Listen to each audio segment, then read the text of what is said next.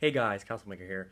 So, um, it's the final night before I get to see Star Wars The Force Awakens. Um, if you don't know what I'm wearing, I am uh, wearing my favorite Star Wars sweatshirt from the Empire Strikes Back. And I am, in fact, wearing some special Darth Vader pants for my sleep.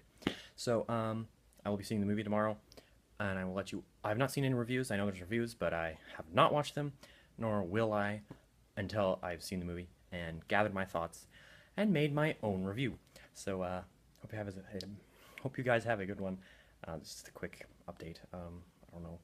Um, enjoy yourselves, and if you've seen this movie, let me know. Don't spoil it, but um, I hope you enjoyed the movie, um, and I hope it's good. We hope it's good. Um, have a good one, and thank you.